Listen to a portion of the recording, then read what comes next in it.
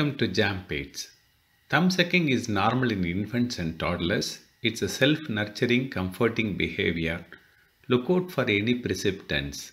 Child will suck its thumb when it is hungry, lonely, disturbed, unsatisfied, or after feeding or satiety. It shows the psycho-emotional maturity of a child.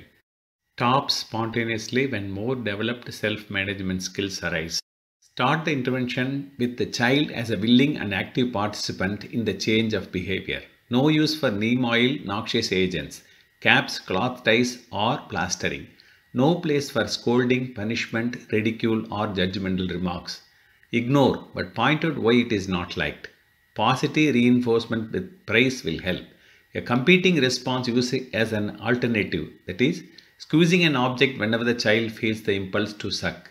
Beyond 4 years, open bite will develop. Dental grips and clips may be needed.